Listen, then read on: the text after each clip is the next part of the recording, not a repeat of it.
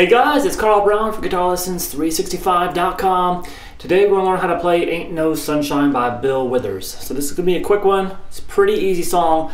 I'm going to actually use the same fingerings that he does, even though they're probably, to me, not the most um, natural. I, would rather play them like this with these three fingers, but uh, he plays it like this, so we're going to play it like that. But you can use whatever fingers you really want. All right, so let's talk about these uh, this picking pattern real quick.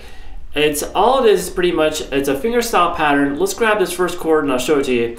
It's just the fifth fret here on the low E, then the fifth fret on the D and the G. All right, so all you have to do for the picking, pick the thumb, and then use your index and middle fingers to hit the two middle strings. So we have thumb, so that thumb's getting the bottom note we did that twice. All right, so that's gonna be the picking pattern there.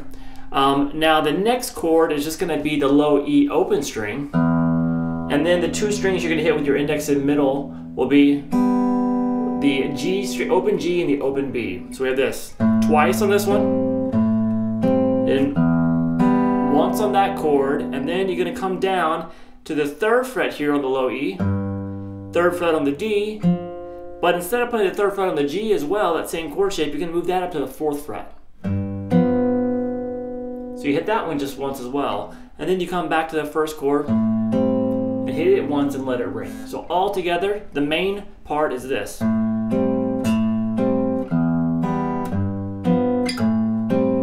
a pause, and then he goes through that chord progression again.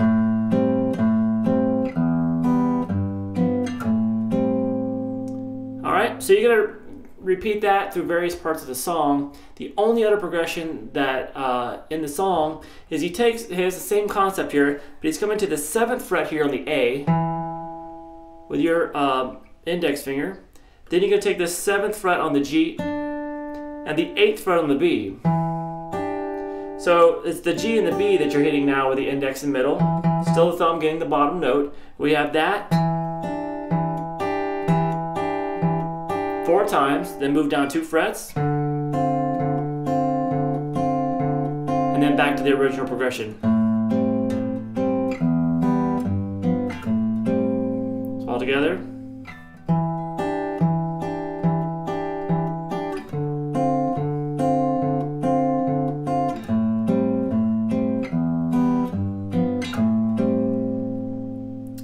All right, that's about it for the only two progressions found in Ain't No Sunshine. It's a simple song, uh, but it's, it's really great, and it's a great little, if you, don't have a lot of finger style experience, just kind of start with that. Uh, just try to keep your hand nice and relaxed, and uh, play those easy chord shapes, and you'll have it. All right, hope you enjoyed it. I'll see you again soon for GuitarLessons365.com.